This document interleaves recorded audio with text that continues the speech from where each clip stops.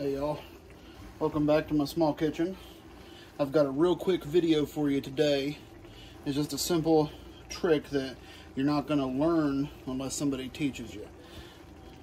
How to properly cut a bell pepper to save time.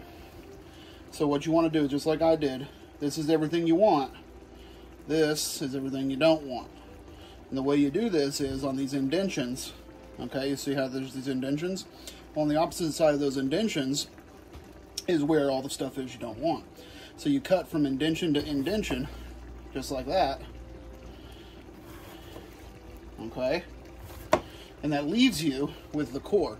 Now the bottom is all stuff you want too, but now you can see exactly where you want to cut. All of this, you don't really want. Throw that away.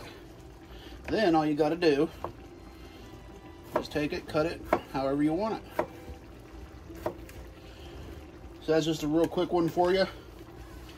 I'm making some lasagna today and you know, come on over to Patreon and you can see how to do little tricks like this and a whole lot of other recipes that I'm doing too. There's guaranteed one recipe every week and sometimes I'll do two. It just kind of depends on what I can get to.